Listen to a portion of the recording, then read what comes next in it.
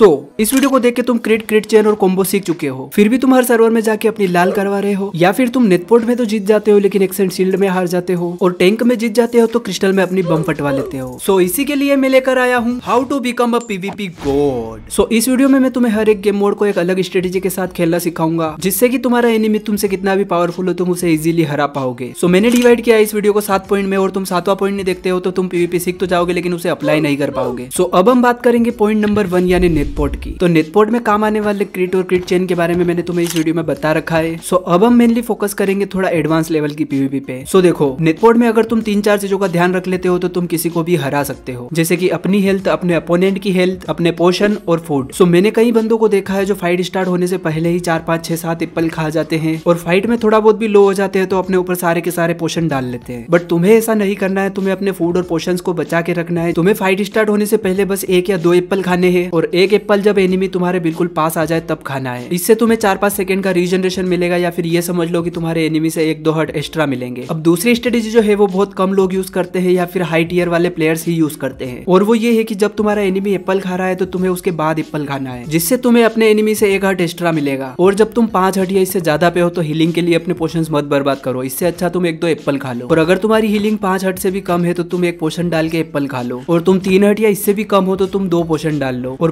पोशन डालने के बाद तुम्हें एक एप्पल तो हमेशा खाना ही है। इसके अलावा तुम अपने एनिमी को पी क्रिट मार सकते हो, जो कि one of the advance crit है। बिकॉज़ अगर तुम्हारा एनिमी बहुत अच्छी क्रिट चेन करता है या फिर बार बार तुम्हें कोम्बो मारता है तो तुम उससे बच सकते हो और उसे अच्छा खासा डैमेज दे सकते हो। सो पी क्रिट मारने के लिए तुम्हें वेट करना होगा अपने एनिमी का कि वो तुम्हें मारे। और वो जैसे ही तुम्हें मारता है, तुम उसी के दिए हुए नोकबैक से जंप करोगे और उसी टाइम जब तुम हवा में रहोगे, तुम्हें उसे हिट करना है। बट हाँ स्टार्टिंग में तुम्हें उसे जंप करके नॉर्मल क्रिट ही मारना पड़ेगा। उसके बाद तुम पी क्रिट मार सकते हो। इसके अलावा तुम बीच बीच में क्रिट चेन या कोम्बो भी मार सकते हो। बस ये सब कर लिया तो नेटपोर्ट में तुम्हें कोई नहीं हरा सकता है। सो अब हम बात करेंगे पॉइंट नंबर टू यानी एक्सेंट शील्ड की। लेकिन उससे पहले ये देखो यहाँ पे मैं शील्ड अप करके खड़ा हूँ फिर भी मेरे एनिमी ने मुझे मार दिया। वो भी बिना मेरी शील्ड डिसेबल की है अब ये इसने कैसे किया ये भी मैं आगे बता दूँगा। बट इससे पहले अगर तुम एक्सेंट शील्ड खेलते हो तो तुम्हें पता होगा कि इसमें हमें फ़ूड नहीं मिलता है। इसका मतलब है हम हमारी हेल्थ और सेचुरेशन को नहीं बढ़ा सकते हैं। सो एक्सेंट शील्ड में तुम्हें फालतू की जंप और स्प्रिंट नहीं करना है। क्योंकि तुम जंप करोगे तो तुम्हारा सेचुरेशन खत्म हो जाएगा जिससे तुम्हारे हर्ट बढ़ना बंद हो जाएँगे। अगर तुमने पहले एक एनिमी को जड़ दिया तो सेवेंटी परसेंट चांस हो जाते हैं कि तुम जीत जाओगे। इसके लिए तुम शील्ड अप रखो और जब तुम्हारा एनिमी तुम्हारी शील्ड डिसेबल करे, तुम उसी टाइम पे उसे एक क्रिट मार दो। बट इसके लिए तुम्हें थोड़ी बहुत प्रैक्टिस करनी पड़ेगी क्योंकि तुम्हें ये सब करने के लिए बहुत कम टाइम मिलेगा। स्टार्टिंग में तुम एक जगह खड़े होकर जंप करते रहो और जब भी तुम्हारा एनिमी शील्ड डिसेबल करे, तब उसे मार दो। बट धीरे धीरे तुम्हें इंप्रूवमेंट करना होगा और यही चीज़ मूवमेंट और सिंगल जंप के साथ करनी पड़ेगी। और अगर हम बात करें थोड़ा एडवांस लेवल की तो तुम अपने एनिमी के पीछे या साइड में आने की कोशिश करो और फिर उसे मारो। इससे तुम्हें उसकी शील्ड डिसेबल करने की ज़रूरत नहीं पड़ेगी और तुम इजीली उसे मार सकते हो। और अगर तुम्हें उसकी शील्ड डिसेबल करना ही है तो तुम एक से उसकी शील्ड पे मार के थोड़ा दूर चले जाओ, जिससे कि वो तुम्हें मार ना पाए। और उसकी शील्ड डिसेबल करने के बाद तुम उसे सोर्ट से कोम्बो या क्रिट चेन मार सकते हो। और अगर तुम और तुम्हारा एनिमी दोनों एक हट के बचे और तुम्हारा एनिमी शील्ड अप करके खड़ा है तो उसकी शील्ड डिसेबल करने की कोशिश जानलेवा हो सकती है, क्योंकि तुम जैसे ही उसकी शील्ड डिसेबल करोगे, वो तुम्हें मार देगा। सो तुम स्प्रिंट करके उसके पास जाओ और जंप करके उसके पीछे मार दो। वो बस शील्ड डिसेबल होने का वेट करता रह जाएगा और मरने के बाद तुम्हें हैकर किड्डो बोल के खुद को तसल्ली दे लेगा, क्योंकि उसे ये सब कुछ ऐसा दिखाई देगा। सो अब हम बात करते हैं पॉइंट नंबर थ्री यानी टैंक की। तो टैंक में तुम्हें क्रिट को अवॉइड करना चाहिए और ज़्यादा से ज़्यादा कोम्बो मारना चाहिए। और कोम्बो के दो तीन टाइप्स मैंने इस वाली वीडियो में बता रखे हैं। और एक्सेंट शील्ड की तरह टैंक में भी हमारे पास फ़ूड नहीं होता है तो हमें फालतू की जंप और स्प्रिंट को अवॉइड करना चाहिए। सो पॉइंट नंबर फोर यानी S M P kit so अगर तुम्हें अपनी एस एम पी किट अच्छी करनी है तो ज़्यादा से ज़्यादा शील्ड का यूज़ करना सीखना होगा। बस तुम शील्ड अप रखो और जब भी तुम्हारा एनिमी तुम्हारी शील्ड पे मारे, तुम्हें उसी टाइम पे उसे हिट करना होगा। और फिर से अपनी शील्ड अप कर लो और बार बार यही करते जाओ। और हाँ इसमें एक्स का यूज़ सिर्फ़ तुम्हें शील्ड डिसेबल करने के लिए करना है, उसके बाद तुम सोर्ट पे स्विच कर लो। और एस किट में हीलिंग पोशन नहीं होते हैं तो तुम्हें अपनी हेल्थ पाँच हट से कम नहीं होने देनी है। और एसएमपी किट में सोर्ट में फायर एक्सपेक्ट लगा होता है। तो मैंने इस वीडियो में दो तीन टेक्सचर पैक दे रखे हैं, तुम कोई सा भी लगा लो, जिससे तुम्हारा विजन ब्लॉक नहीं होगा। पॉइंट नंबर फाइव यानी क्रिस्टल वैसे क्रिस्टल के बारे में मैंने तुम्हें इस वीडियो में बता रखा है बट इसके अलावा भी कुछ टिप्स है, जैसे कि तुम अगर ऐसे क्रिस्टल करते हो तो ये गलत है। तुम्हें अपने एनिमी को पहले कोम्बो मारना है, जिससे उसे नोकबैक मिलेगा, और उसके बाद तुम्हें क्रिस्टल फोड़ना है, ताकि उसे ज़्यादा से ज़्यादा डैमेज पड़ेगा। इसके अलावा तुम क्रिस्टल में बिना वजह की जंप को अवॉइड करो, क्योंकि ये तुम्हारे एनिमी के लिए एक एडवांटेज हो जाएगा और वो क्रिस्टल फोड़ के तुम्हें मार देगा। इसके अलावा तुम्हें क्रिस्टल में डोमिनेट करना है तो की बाइंड बहुत इंपॉर्टेंट हो जाते हैं। बिकॉज़ तुम स्क्रोल बटन से जब तक आइटम स्विच करोगे, तब तक सामने वाला तुम्हारे परखच्चे उड़ा देगा। अगर तुम किसी एस में खेलते हो और तुम्हारा एनिमी क्रिस्टल स्पेम करने में माहिर है तो उसे वीकनेस का एरो मार दो, जिससे वो हाथ से क्रिस्टल नहीं फोड़ पाएगा। हाँ स्वॉर्ड से फोड़ सकता है। बट अब उसे स्वॉर्ड सीच करनी पड़ेगी, जिसकी वजह से वो अब ऐसा स्पेम नहीं कर पाएगा। पॉइंट नंबर सिक्स है अपना ओपी ड्यूल्स और बिल्ड यूएससी तो देखो ओपी ड्यूल्स में वैसे तो तुम्हें कॉम्बो ही करना चाहिए। बट अगर तुम्हें मौका मिले तो अपने एनिमी को एक एक्स का क्रिट चिपकाना मत भूलना। और रही बात बिल्ड यूएससी की तो ये पूरा एक्सेंट शील्ड की तरह ही होता है। बस इसमें तुम रिसोर्सेज यूज़ करके अपने एनिमी को चोक कर सकते हो। सो पॉइंट नंबर सेवन है प्रैक्टिस सो प्रैक्टिस के लिए मैं तुम्हें ये वर्ल्ड दे रहा हूँ, जहाँ तुम creed accent shield crystal build USC सभी की प्रैक्टिस कर सकते हो। सो बस यार आज की वीडियो में इतना ही। मिलता हूँ तुमसे नेक्स्ट वीडियो में। बाय